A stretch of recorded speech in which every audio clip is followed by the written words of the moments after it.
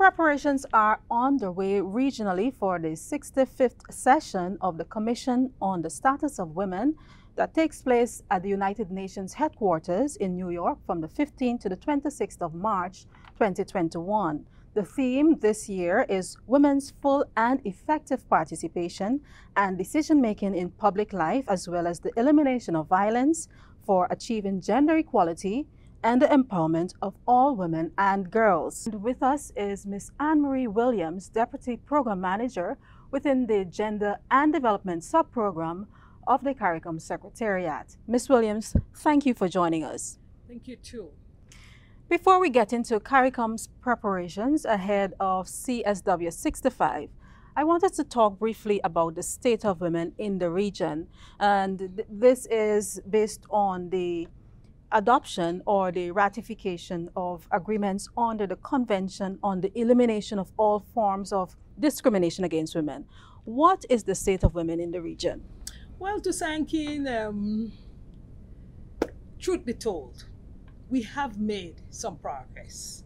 It would be impossible for us not to have made some progress. But let me tell you, progress has been slow and uneven. Take, for example, this is the last year we celebrated, well, it, we're still in the 25th anniversary of the Beijing Declaration and Platform for Action, which is the most comprehensive roadmap to achieve gender equality globally. After 25 years, the issues that the different member states in the region have signed on to following the Beijing platform, the issues still remain relevant, and we're having even a resurgence of Take, for example, violence. Violence happens to be one of the platforms of the Beijing Declaration. And it is difficult to achieve gender equality if women and girls are plagued by violence. The other thing is women in decision making. And when we talk about decision making, if we want to measure our progress, we think about decision making at the highest levels, and we think of women in political decision making. We have not not made the kind of mm. progress in that area. When we look at issues where women are still in non-traditional fields, women still work in certain areas. They work a lot in caring areas they still have not been able to jump over that job segregation. Men work this way and women work that way. There's still the sexual division of labor when we look at unpaid care work and domestic work, where women still do two thirds of the world's work and only receive one third of the world's pay. But a good thing that I want to say is that we, in the meantime, there's great work going on in that for the first time the region has done five prevalent survey in the, in the area of gender-based violence, particularly intimate partner violence, to measure where the region is in terms of violence. What is not counted, you don't know exactly what interventions to apply to it. So the five prevalence survey didn't really tell us something new because we know that worldwide, globally, one in three women will be violated during her lifetime. And that was articulated in the survey in essentially in Jamaica, Trinidad, Grenada, Suriname, but in Guyana, it's one in two women. And so that shows you that we need specific interventions because that cannot continue to happen. It doesn't begin to count when we speak about gender equality. Mm-hmm. When we look at women's unpaid care work and domestic work, for the first time in the 2022 round of censuses next year, five member states have agreed to pilot questions in their census to measure women's unpaid care and domestic work. That is magnificent from where I sit. Magnificent because although Trinidad and Tobago did a round of questions in 2000, Trinidad did some, Jamaica did a piece, but it's not enough to do a comparative analysis across and between countries in the in the region. So now five countries will be doing that next year, which is tremendous. There's a spotlight initiative that that is a program with national programs and regional level programs providing upwards of 500 million euros across the world to fight different kinds of violence in the region in the Caribbean, it's family violence. And so there's family violence being fought, there's there's trafficking, there's harmful practices, femicide. So it's an effort to really look at how quick we could stem this scourge of violence among women and girls. The inclusion of the um, women's unpaid work in the census analysis is very interesting and it certainly validates the whole conversation on women's unpaid care, mm -hmm. care work in the domestic arena. Um, the COVID 19 pandemic, we certainly have to touch on that and how uneven the impact has been on women and girls. They have, from our personal experiences and um, anecdotal observation being disproportionately affected by the pandemic.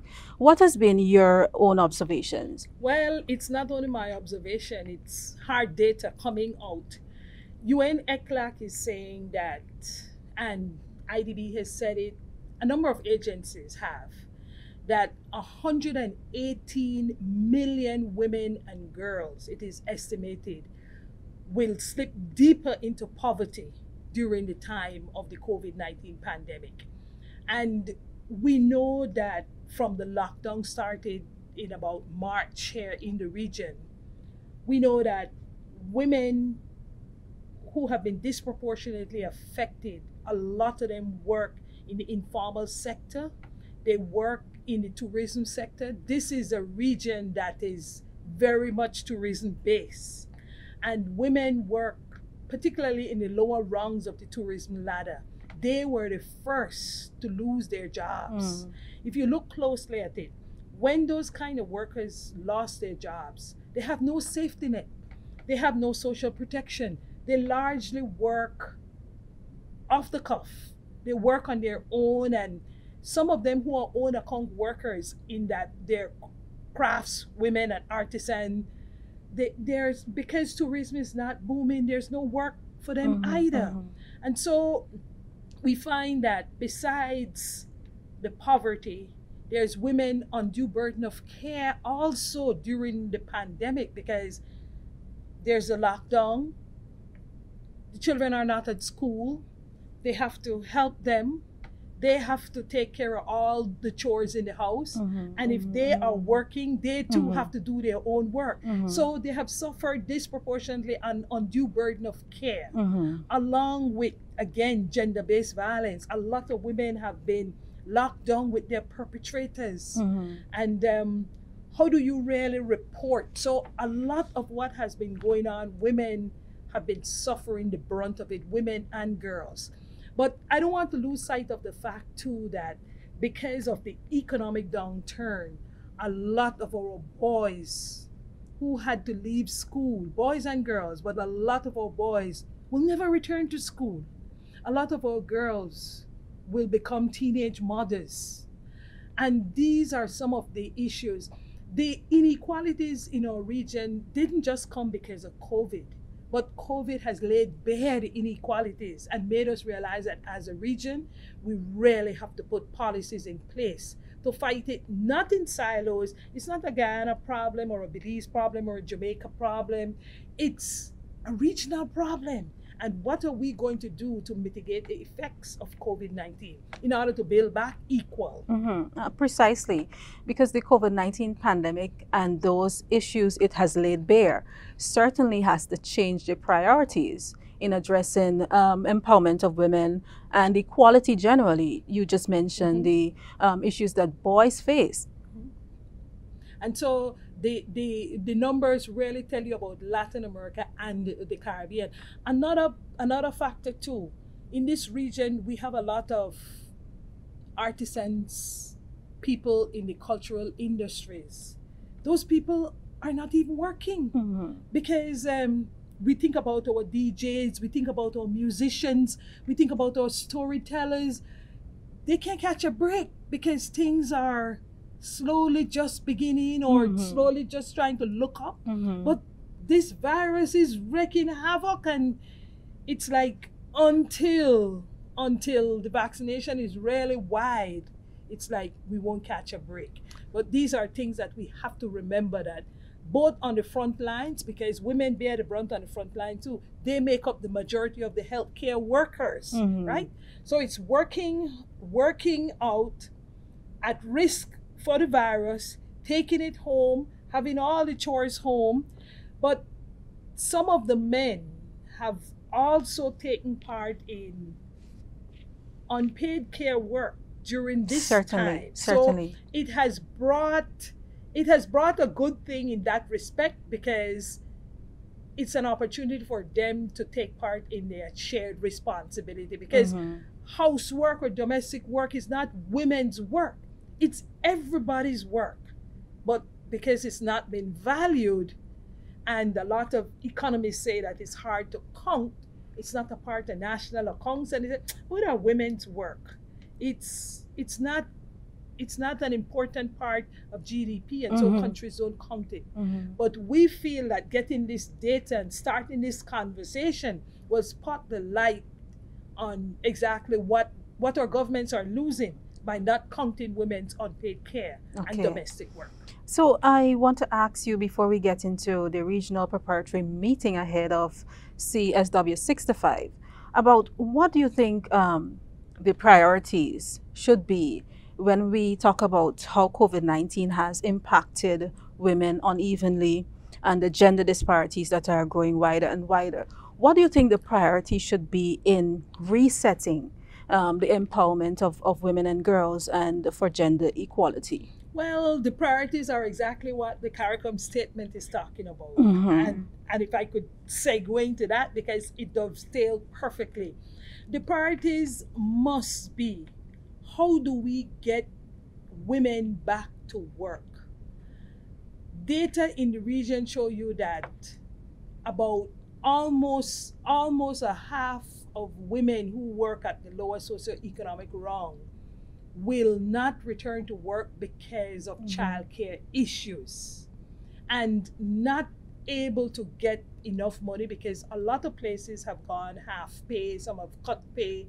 So so it's like the unemployed and the underemployed. So so we have to put women and men back to work, but particularly women back to work. There's lots of single mothers. I mean, who takes care of them? We have to look at the issue of childcare in a holistic way because women should not have to choose between do I go to work or do I stay home and take care of my children because I'm not getting paid enough to afford childcare. Then we also have to look at how we how we take care of our hospitals and our and our different health health posts and health sites. I want us to get now into the regional regional preparatory meeting ahead of uh, CSW 65. Um, why is it important for us to prepare ahead of this global discussion in March? And what are we expecting from our regional level of preparation and from the global discussion later on? Well, a lot of the issues we just spoke about is is contained in what is known as the CARICOM position. So it's a statement about maybe 20, 25 paragraphs long, premise on the theme women's full and effective participation and decision making in public life and the effects of gender-based violence which will definitely cause gender inequality. So that's the theme. But we know that there is nothing you can think about that doesn't have a gender dynamic attached to it. And nothing that you can think about that doesn't affect women. So, because of that, the statement really pulls apart the different issues. It looks at, at what the, how the region feels about gender budgeting. It, it reaffirms initially that the region has signed on to CEDAW, which is the Convention on the Elimination of All Forms of Discrimination Against Women. That's a Bill of Rights for Women. The region has signed on to the convention to punish, to punish, eradicate violence against women. It's an OAS convention or the Convention on Belém do Pará. It has signed on to to the climate agreement. It, it, so all the different instruments and conventions it has signed on to forms the foundation of the document, the, the Samoa pathway. So we we look at women's inequalities. We look at how rural women fare in agriculture. We look at indigenous women. We look in the statement about women's sexual and reproductive health and mm-hmm. rights. We also look at there's a whole section on, on, on COVID 19, there's a whole section on gender inequality, a section on violence, a section mm-hmm. on political participation. And each country has an opportunity. The National Gender Machinery Head gets the statement and the, the ministers of gender also.